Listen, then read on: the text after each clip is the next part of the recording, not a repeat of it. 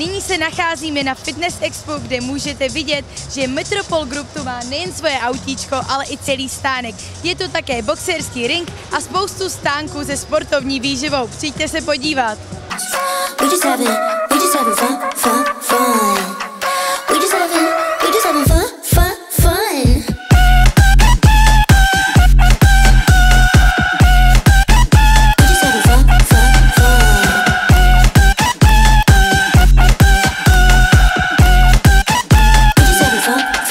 Kristýnko, jaké jsou první pocity z vítězství? Uh, určitě velmi zmatený. Já jsem teda, musím upřímně říct, že jsem to více přála ostatním holkám než sobě. Um, chtěla jsem teda uh, zamakat na sebe mnohem více, ale t- jako ty pocity jsou nádherný, ale až teď nějak si to pomalinku uvědomuju, že vlastně co se stalo a jaký krásný vítězství díky tomu uh, teď vlastně mám a krásné výhry a je to fakt krásný pocit.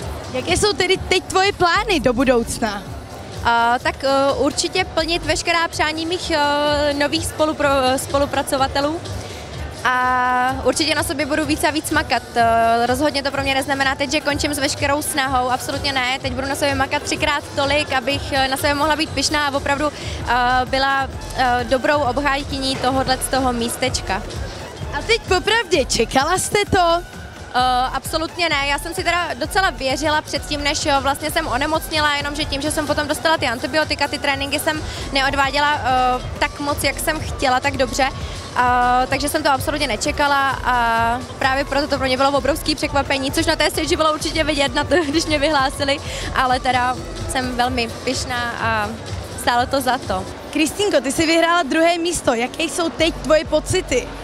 Tak moje aktuální pocity jsou hodně spontánní. Uh, asi jsem určitě překvapená. Jsem překvapená a jsem ráda, že jsem vyhrála samozřejmě, ale musím že jsem to opravdu nečekala, protože všechny holky byly krásné a měly určitě šanci na vítězství, takže jsem hrozně šťastná, že zrovna já jsem dostala tuhle čest a mohla jsem vyhrát teda druhé místo.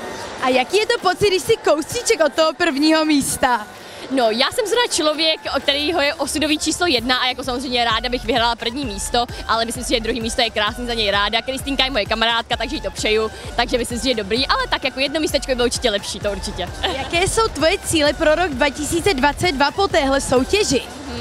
No, moje další cíle, aktuální cíle je pořádně se najíst a oslavit. Toto jsou teďka úplně asi jako nejaktuálnější cíle a potom samozřejmě se budu fitness dál věnovat a budu chtít, aby tam byl nějaký progres i do budoucna.